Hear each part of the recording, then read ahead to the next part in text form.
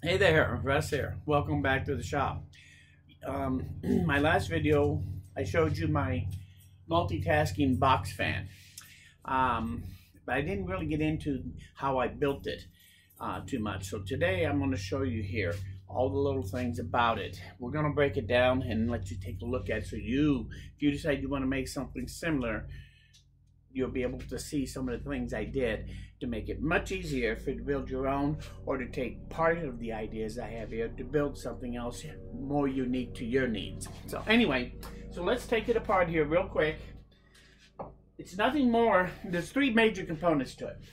The box fan itself, which is just a 20 by 20 box fan. You could technically use any fan you really wanted to to do this. The box fan is easy for this particular style of what I'm doing here, so that's why I went with it on this particular one. So I have this 20 inch by 20 inch box fan that you can get anywhere. It also has the filter box, which houses the two filters in it, and it attaches to the back of the box fan uh, with screws. And then the other component is the actual pedestal itself, which um, is what holds this thing up and also holds it when you want to mount it to the ceiling. So let me take this apart real quick here. First thing we're going to do is let's just take these knobs off and let's take this thing out of here.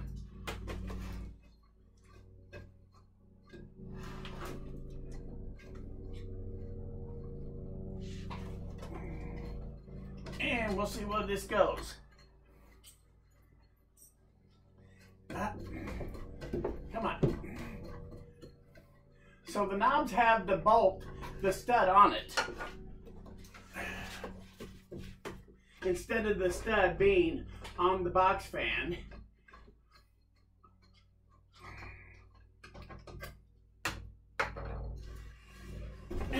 And there it is, the box fan itself. So, we'll leave this up here for the moment and let's turn our attention to the box fan area. So the first thing I want to do is let's take this front cover off. So I got my screw gun here. I put a little little magnet on there. And that's just to help me from keep me from losing these screws as I take them out. And we're going to take we're going to take the face cover off of the fan.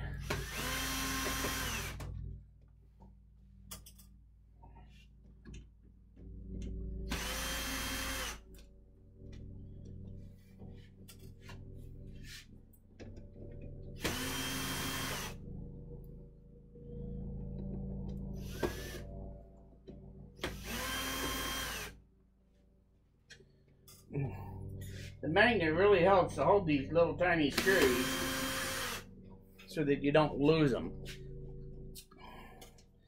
So now we have the cover off.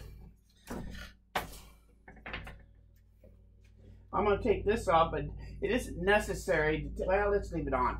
So now the next thing you do is I want to separate the box fan from this, and then we'll go over all the different components. So I have screws on the inside here that screw to the lip on the back side and screw directly into the faceplate of the filter box. So we're going to take those off.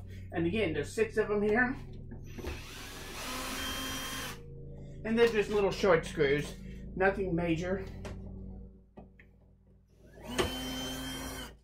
I basically used the same six holes that we used to put the cover on here. And the back cover, I've removed it permanently so that I can actually set this other, set these two pieces flat to each other. So.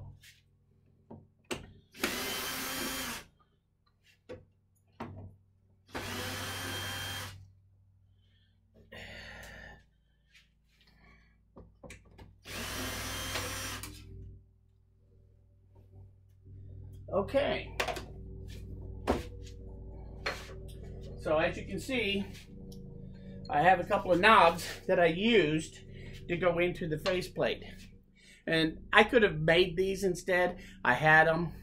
I bought them years ago. I decided now's as good a time as any to use them. So, uh, those are the uh, some of the hardware that you need. So now, I'm gonna take the fan off and let's go over the fan real quick.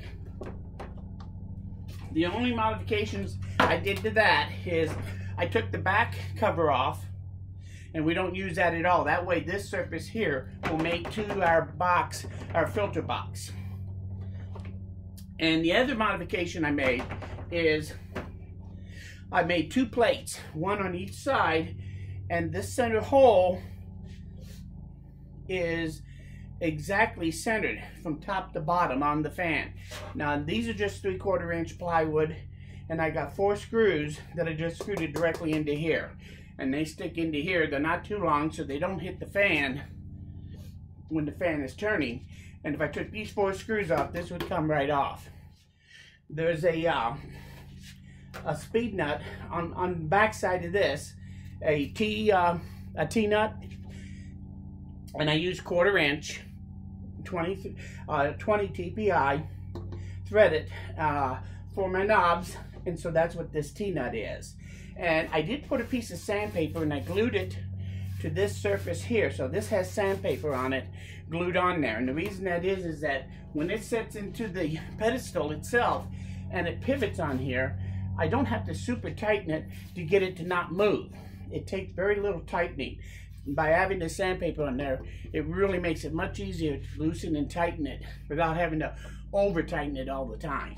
So, and that's really all the modifications to the fan itself. Now, let's turn our attention to the pedestal here for just a second. So let's pull this pedestal down off of here and it just slides out like so and this is the actual pedestal right here. And the pedestal really isn't anything more than a, a football goalpost, really. And so I put a single pedestal, round pedestal on it so that it slides into the slot easier. You could make this any way you want, but that's why I went with a round pedestal. Uh, I used the base, and this base is it's 21 inches from the center here out to this edge. And so this overall, it's 18 inches, 16 inches that way. So uh, it's not quite exactly an equilateral triangle. This is this is 18 inches across here but it's only 16 inches from here to here and here to here. Um, it's arbitrary what size you want to make it. Uh, if the bigger you make it, the more room you need on your ceiling for it to for it to work up at the top on your ceiling. So, um, but basically, after you build your triangular base, and I drilled these holes just to lighten the, lighten the load of this thing. Um, and then I just made a three boards here to make my total configuration. Calculated where this hole is based on where the center of that hole is to keep this high enough to be able to have it turned on here, on my pedestal. And so now, this thing is a pretty simple, that's probably one of the easiest things there are to, to make for this whole project is some kind of pedestal. Now I could have probably made a pedestal with that telescoped so you could adjust the height, but I didn't see any need for much of that. I just wanted it to hang here most of the time, as we discussed in my other video, uh, but light enough and easy enough for me to take it down and set it wherever I want to use it if I want it close to where I'm working somewhere. So now that's the pedestal. And again, it's pretty straightforward. So let's talk about the third piece here. And of all three, this is probably the most uh, detail-oriented piece that we have. Basically, it has the two filters go in here. Let's take one of these off. And I just put two stop blocks on it. Nothing fancy and they're here just to hold my two air filters in here. So I have a regular 20 by 20 filter and a 20 by 20 pre-filter. Like I said, this goes in front of it. So all the air goes through here and through the regular filter and then through the fan blade. And of course, the side with the grid on it faces toward the airflow so that the paper doesn't bulge as much by having that there because that's the way the air will flow. And that's all there is, is just two filters. Uh, you can do it with one filter if you want. You can put any kind of filter in there you want. I use the 20 by 20 on a lot of different things. And so that's why I kind of stuck with that theme for this. So let's talk about this frame itself now. This frame, very simply,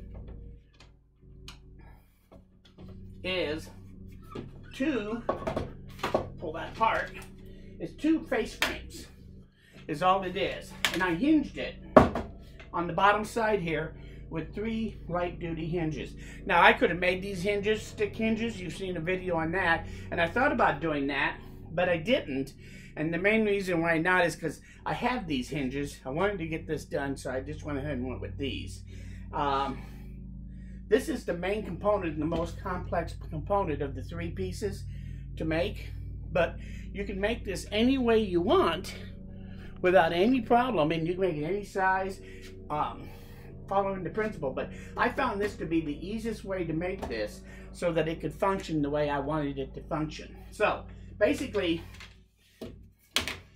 it's a four-sided box here and two face frames here and here. And these two are exactly the same size and they fold up to each other.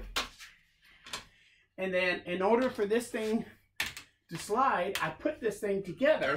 Let me pop this back in the hole. Now the hole on this, the hole on this, what I did was, after I, when I went to put the hinges on it, let's do this real quick. When I went to put these hinges on there, I laid it down nice and flat. The two frames, I didn't have this on there yet. So I put the two frames together and then I put a spacer at this side to hold this side up just a hair and I clamped it on the bottom side where the hinges are going to go. Then I made sure the hinges were pulled tight in each direction as I put it on there. I attached it to the one frame and then I pulled it as tight as I could and attached it to the other frame using crazy glue then I put the four screws in each of them, and then I put crazy glue around them, and that helps hold the, them completely in place, and I don't think I have to worry about it coming apart. So basically, it's just these two face frames. The other thing I did was then I came back and I took four pieces of of wood, two inches thick, and the reason that's two inches thick is because I have the two filters that go in here. And when you stack them together, they come out to just right at 1 and 7 eighths inches. So that makes it easy for me to put these in and out to change them or clean them as needed. Um, so, and as far as the locking mechanism, what I did is after they were put together, I clamped this side together and held it with a clamp and I drilled a, hole the size of this rod, which is, uh, I think it's quarter inch rod, but it might be 3 eighths actually. And it's just a steel rod. Just needed something for the lock nut, the lock bolt set screw. I wanted something that would lock against it. So after I drilled the hole and put this in here, and it, probably if you went at a slightly upward angle, it makes it a little easier, but I didn't want this thing, I want this thing to work freely here, but as I pull it out, it starts getting snugger because it's trying to bend this thing down. That way it holds it together and I don't really necessarily have to lock this down. Now, you could curve this piece or do whatever you want, but I just used a straight piece and I made this secondary hole here after I drilled the first one and I pounded it in place and I put a set screw in. And then I came back and I oversized this hole enough to be able to pull it apart and be able to pull it back together. Now, one last thing. As far as the set screw, that was pretty simple too. That's just an insert there, and this is just another knob with a bolt. And it's cut to the size, to the length that I need, so that when it's all the way down, it pretty much pushes against that rod to hold it against the bottom. And that's all that's all this lock screw is. It's just an insert, a little insert put in right here, directly above this hole, and then this set screw goes down in there. So this is the whole thing in a nutshell. It's not that hard. Let me put this back in. Hard to do when you don't see it.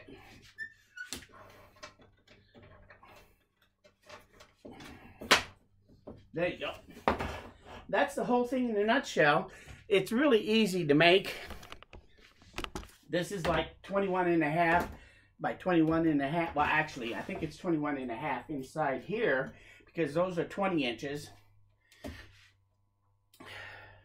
And these frames are like 22, 22 and a half by 22 and a half, whatever that is, so that they fit the box fan itself nice and square. The only thing that's important when you make these face frames, you want to make sure that you make them the same.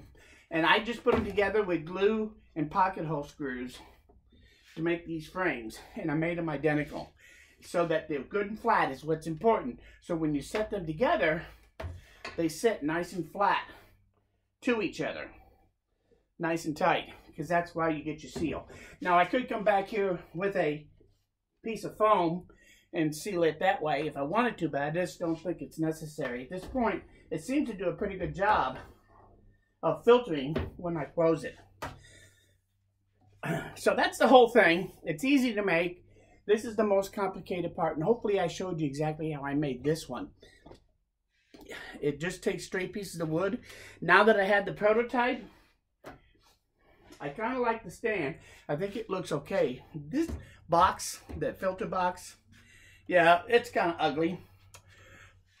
but now that I've made the prototype and I've seen what I really like and don't like about this setup, there's only a couple of minor things about it. I probably will make these. I'm going to remake this eventually.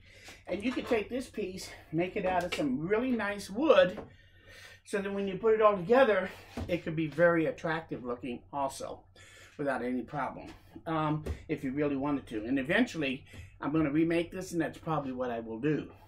Now that I have all the pieces, I know exactly how to build it. I can find the right wood and make something that looks really nice for a box fan.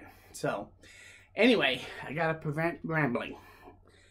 I think you saw everything I have, how I made it. If you have any questions about how to make it, or any suggestions on how to improve it maybe slightly, leave them in the comments. I'm always interested in hearing new ideas.